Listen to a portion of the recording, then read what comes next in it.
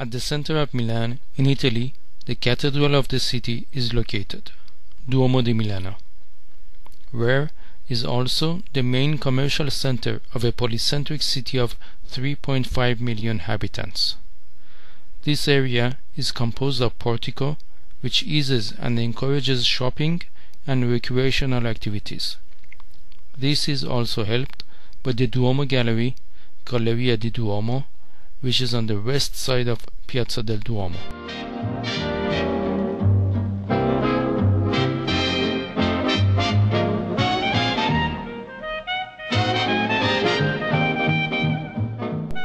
While there is all this crowd in this area, exactly on the opposite side of Piazza, there is a very low level of commerce going on.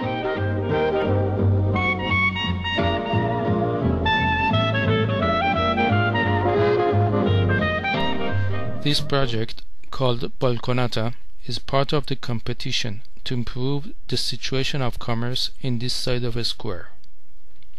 My proposal consisted of creating a covered winter garden in two levels, ground floor and upper floor, donut shaped, supported by eight columns with a view to the lower floor.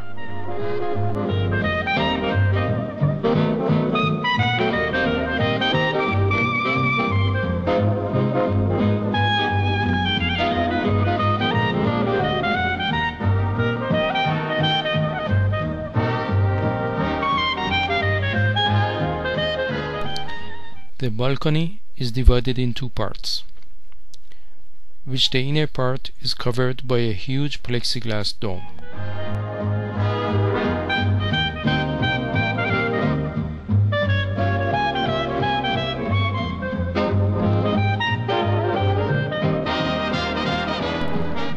The dome itself is composed of two parts, design-wise, vertical and spherical. The vertical part could have been lifted up mechanically to connect the inner part and outer part of balcony during the hot seasons.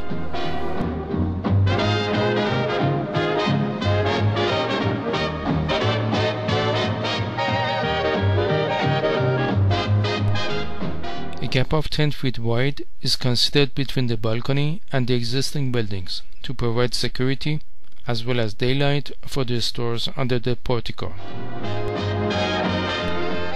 A performance balcony is considered within the main balcony and the access to the upper floor is through a pair of scenic stairs.